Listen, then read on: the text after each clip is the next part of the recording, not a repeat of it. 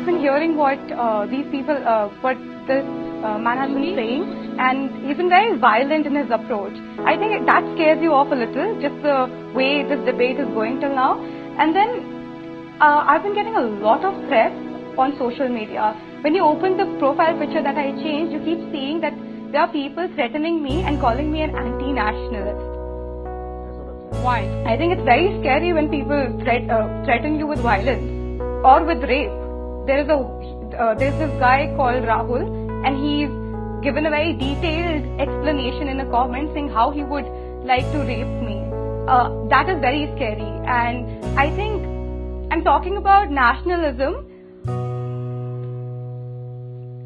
Rape threats, giving rape threats to women of your own country in the na- name of nationalism is not correct. It just isn't. You cannot do that.